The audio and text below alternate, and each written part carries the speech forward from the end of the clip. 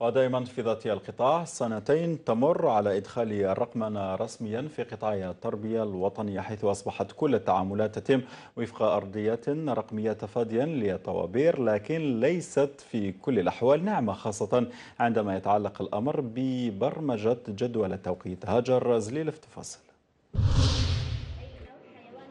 في خضم الثورة التكنولوجية التي نعيشها اليوم قطاع التربية وخلال السنتين الأخيرتين دخل في الأرضية الرقمية. التسجيلات نتائج الامتحانات والمسابقات انشغالات الموظفين اهتمامات التلاميذ وأوليائهم.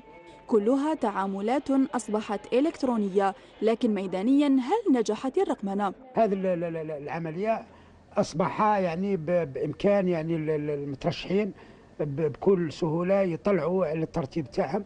تسهل العملية التربوية تسهل حركة الموظفين آه، آه، تمنع كذلك حدوث التصرفات والانزلاقات اللا مسؤولة خفت كثير من العبء على مديرية التربية وعلى السادة مدراء التربية وعلى وزارة التربية ونقصت كثير من التدخلات السلبية لو أخذنا على سبيل المثال برمجة جدول التوقيت الأسبوعي وفق نظام معلوماتي سنجد خلط في توزيع المواد لأن النظام لا يحترم شروط إعداد جدول التوقيت بما يناسب التلميذ ويساعد الأستاذ. يديروا عربية anglais صباح وعشية يديروا لنا زعما les matières essentielles وعشية bien sûr نكونوا عيانين. par exemple عندنا نهار الحد عندنا جوج سوايع عرب جوج سوايع sport après موراها جوج سوايع maths.